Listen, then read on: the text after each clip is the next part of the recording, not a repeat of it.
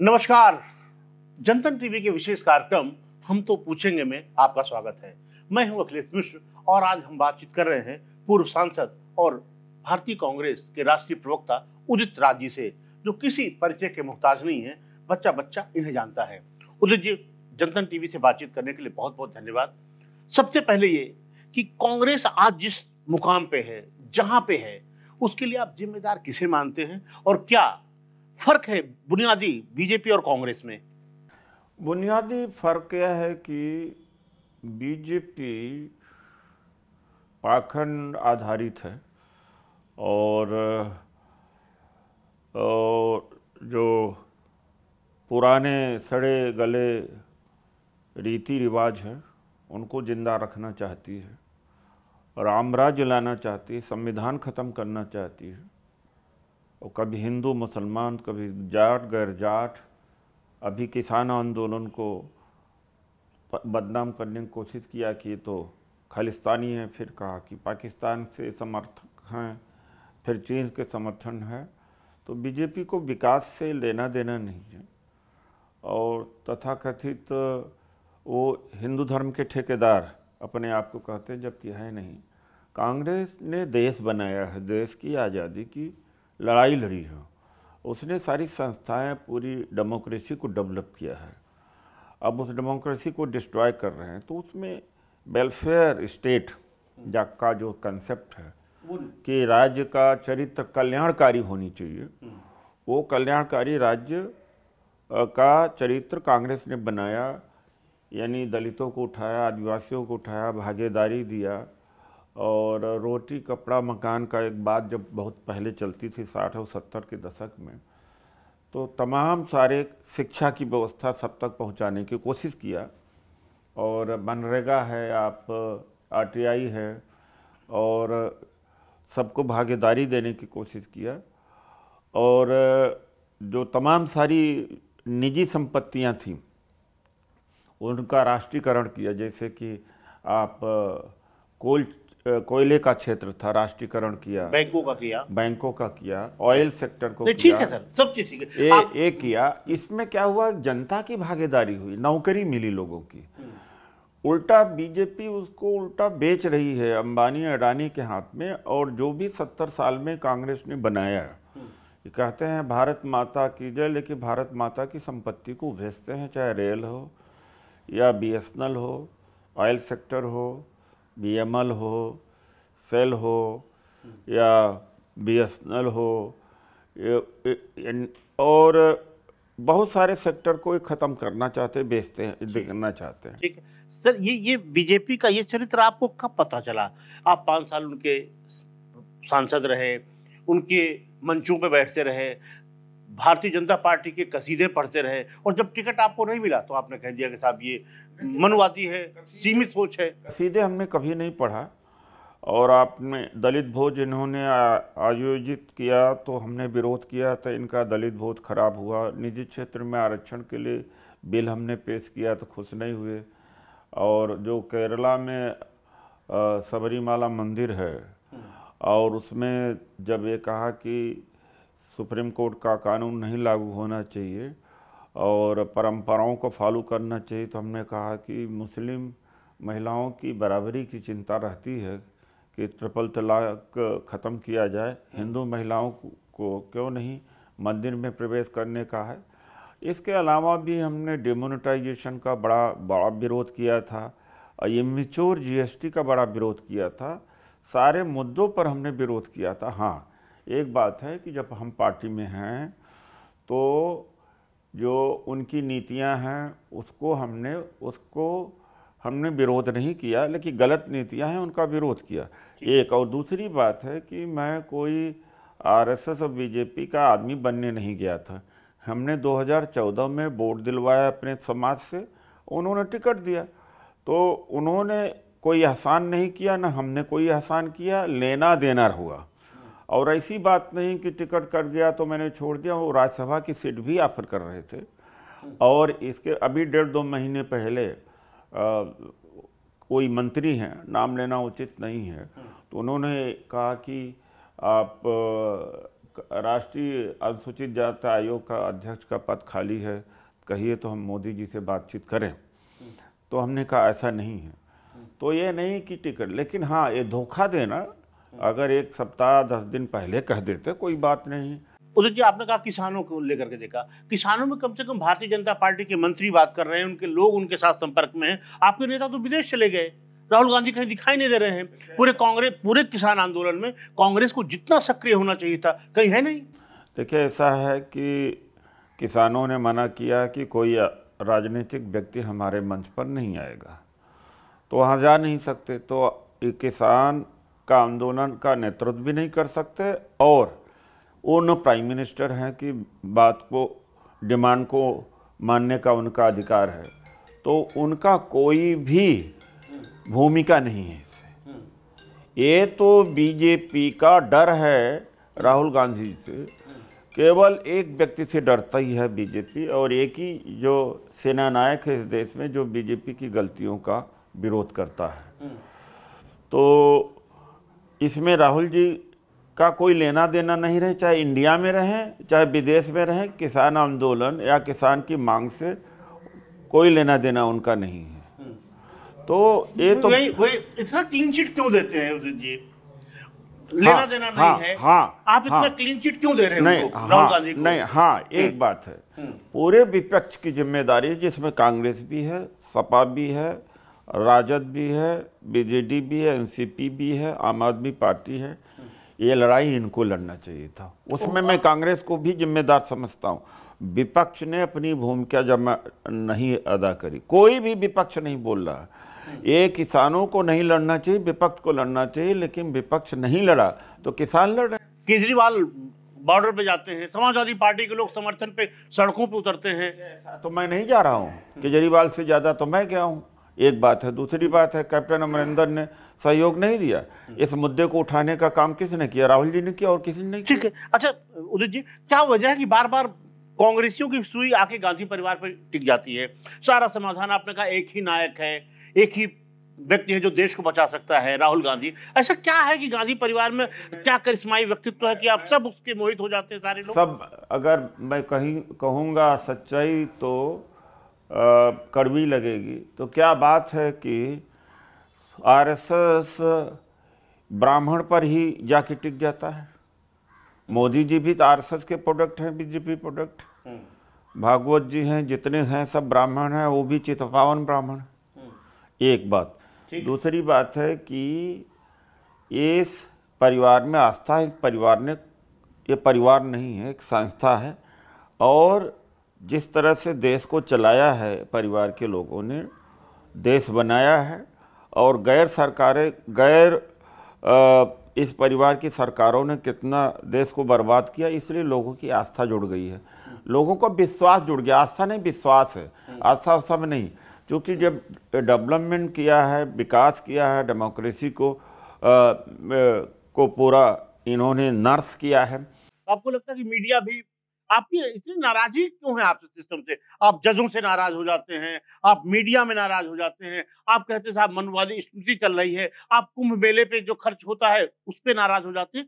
क्यों इतना नाराज़ हो जाते हैं सिस्टम से? हमने ये कहा, जब उन्होंने कहा कि मदरसों पर खर्च हो रहा था, यहाँ भी खर्च हो रहा है, इतना ही कहा था, कुंभ मेले के नहीं। लेकिन ताज़ा उदाहरण, ऐसे समय पर हमारा इंटरव्यू आप ले रहे हैं कि हम उदाहरण दे सकते हैं।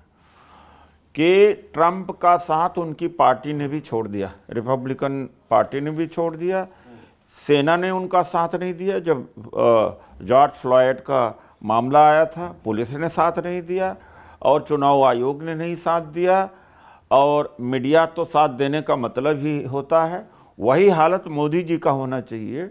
लेकिन यहाँ पर supreme court, bureaucracy, income tax, E D, C B I सब संविधान के प्रति वो प्रतिबद्ध नहीं है। मोदी शरणम गच्छामी है।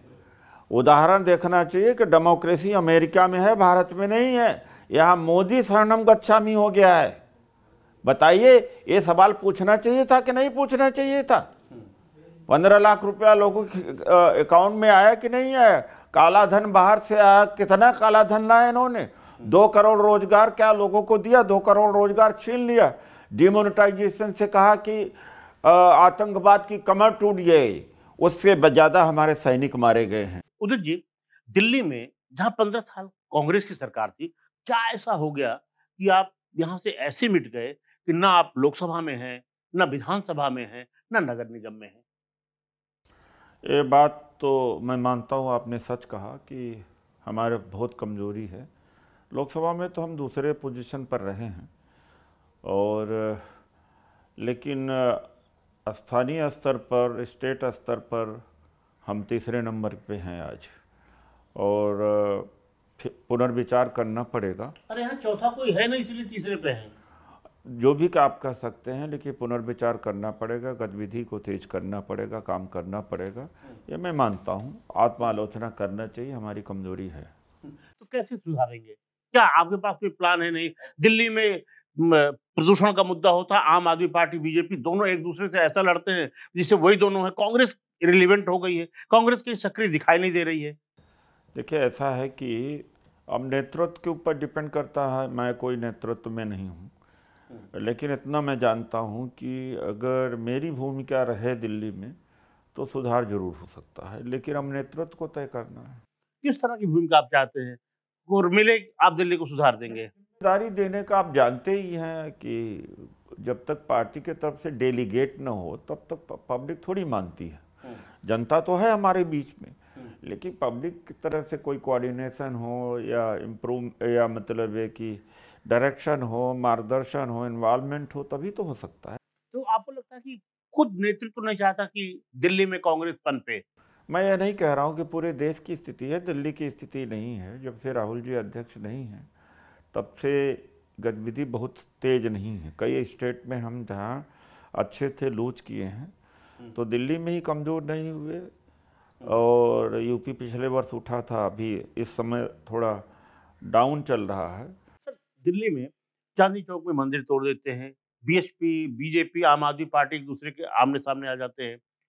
कांग्रेस के लोग दिखते नहीं, प्रदूषण का मामला हो, जल निगम पे धरना देते हैं भारतीय जनता पार्टी कार्यकर्ता, पानी की समस्या को लेकर दिल्ली के वासियों से। तो ऐसा नहीं लगता कि कांग्रेस ने भी, क्योंकि कांग्रेस को लगता है कि भारत दिल्ली की जनता ने हमारा साथ नहीं दिया तो इसको इसके हाल पे छोड़ दो साहब।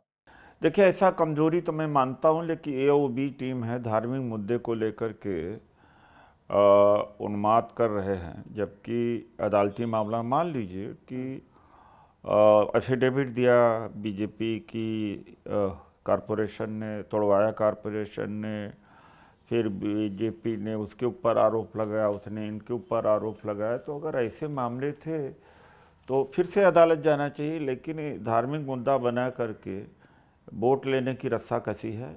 हम सेकुलर हैं, हम इन चीज़ों में नहीं पढ़ते हैं। अगर कोई मामला था तो फिर अदालत में जाना चाहिए था। सर, लेकिन दिक्कत क्या है कि आप कर्नाटका में आपकी सरकार चली जाती है, गोवा में जीत के भी आप सरकार नहीं बना पाते हैं, जहाँ पे आपकी सरकार है, राजस्थान में बगावत हो जाता है, ज्योतिरादित्य सिंधिया मध्य प्रदेश से छोड़ के चले जाते हैं तो कांग्रेस में क्या ऐसा कुछ हो गया है, जहाँ सरकारें हैं, सरकार छोड़ के लोग जा रहे हैं?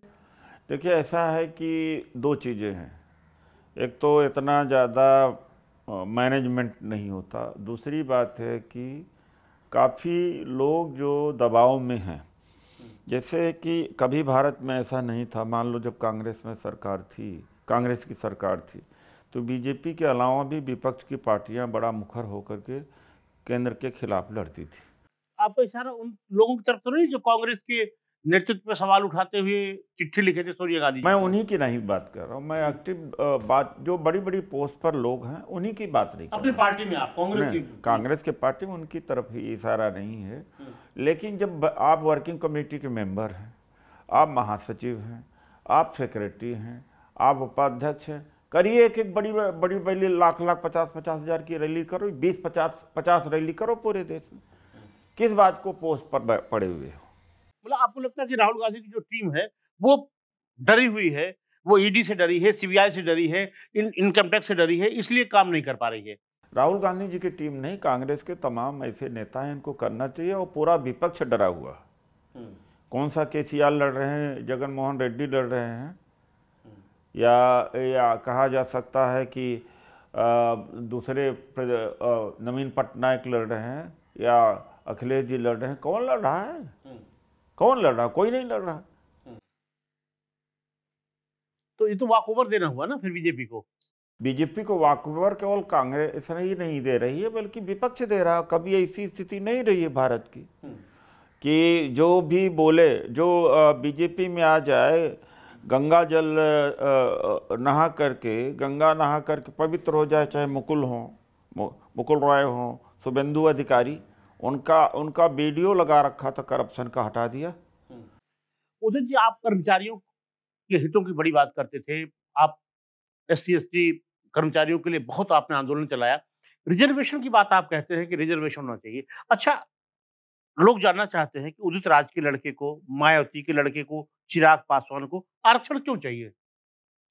देखिए ऐसा है कि आरक्षण आर्थिक आधार पर नहीं दिया गया। इस देश में आर्थिक आधार पर अगर चीज़ें होती तो ब्राह्मण के घर में पैदा हुआ, ब्राह्मण न होता, ठाकुर घर में पैदा हुआ, ठाकुर न होता, इंसान होता। तो एक सामाजिक रिप्रेजेंटेशन है, कोई आर्थिक ने आधार पर, आर्थिक आधार पर होता तो मंदिर पर भी और मंदिर में क्यों ब्राह्मण ही क्यों बैठे हो? उसका भी सवाल उठना चाहिए। आरएसएस के हेडक्वार्टर में क्यों ब्राह्मण ही आज तक हमें सारा एक दलित नहीं पहुँचा?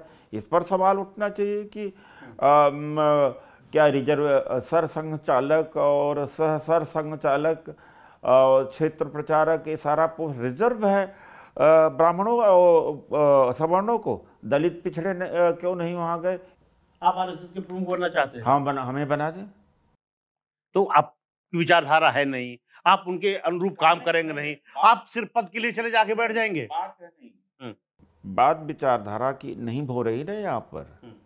बात यह हो रही है आप कह रहे हैं कि जैसे मायावती हो हमारे हम लोग उन्हें जाति के आधार पर रिप्रेजेंटेशन मिला है ठीक है सर तो जाति के आधार पर रिप्रेजेंटेशन हमारे यहाँ से अगर बीजेपी बीजेपी को आप मानते हैं ना संघी चला रहा है हम्म।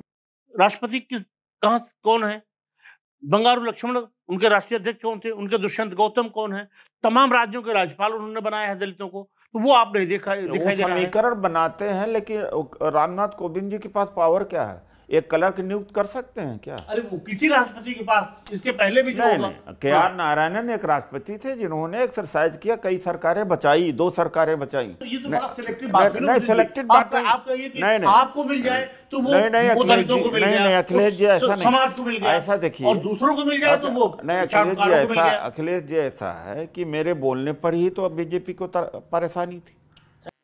एक चीज़ है कि आप क्या अगर मैं आपसे पूछूँ कि दस दलित नेता बताइए देश के जो आपको लगता है कि जिनको पोस्ट मिलेगी तो काम कर जाएँगे वो। क्या अभी हमने कोई सर्वे करके रखा है? हम्म। हमें दे दें पोस्ट? हम्म। हम देखते हैं। नहीं बिना पोस्ट के आप नहीं करेंगे कुछ। बिना पोस्ट का आप कर लोगे? कोई कर लेगा? हम्म। बिना ज़िम्मेदारी कोई कर लेगा? आम आदमी कर लेगा फिर फिर पोस्ट का मतलब ही क्या है?